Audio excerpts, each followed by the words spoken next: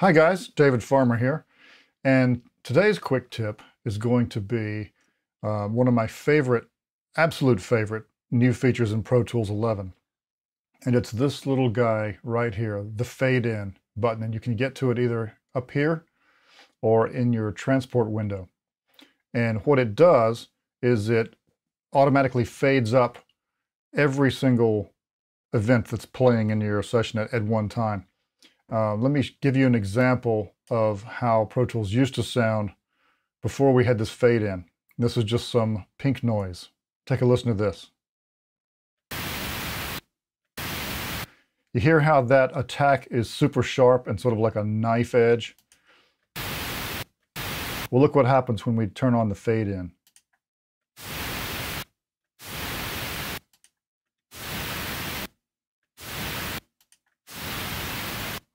So what this will do is really help save your ears from being fatigued. Um, it's, a, it's a different animal altogether than this preference that's always been there under operation called clip auto fade in and out of, you know, I set mine to one millisecond or zero. What that does is actually put an automatic fade on the boundaries of a clip. But this little guy right here, the fade in button, takes place across all your tracks, no matter where you are in the timeline. As soon as the transport engages, it fades up everything to whatever this value is. And this is set in, what's it, what is it called? It's uh, minutes and seconds? Yeah, minutes and seconds. So I can tell you if you're on a mix stage and you've got several Pro Tools systems firing up and locking up, whether it's music, sound effects, even just something like backgrounds, and you're mixing at 85 dB, when everything bangs on at once, it is brutal, and you do this all day long. So whether you're on a mix stage or whether you're sitting in your edit room or design room, every time you press, how many times a day do you press play? So this will really help save your ears. Now, there's something I want to point out here that you have to be careful of. Now, right now I've got this track down here is uh, this track, is, the, this pink noise is bussed to record on this track.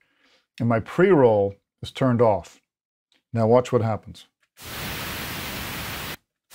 You see at the very head here? What happened was it's still fading up when it's recording. So you have to be careful of that. Is the only is the only thing I have to warn you about with this.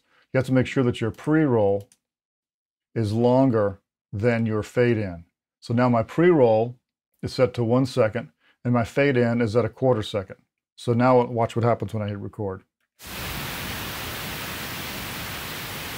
The levels are fine because the pre-roll went back further than the fade-in happens. So let's say this is about a second before I was going to record. It fades up for a quarter second, then it's at full volume.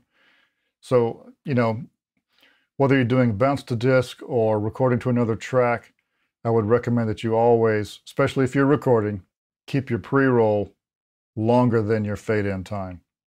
Anyway, that's today's quick tip. Hope that helps you. Thanks for watching.